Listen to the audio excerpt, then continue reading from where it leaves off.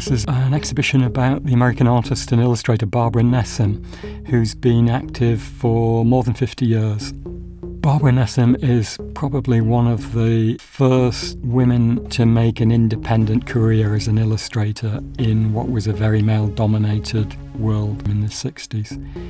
Very, very few women were operating in this field at that time. A lot of women were expected to get married and have children. Barbara very consciously didn't want to do that. She wanted to be successful in her own right as an artist and as an illustrator.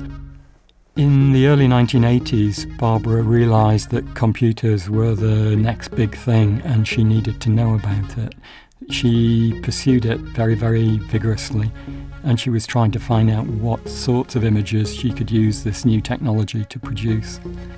Because Barbara was one of the first women really to make a living as a commercial illustrator, in effect, she was breaking new ground for everybody else who followed.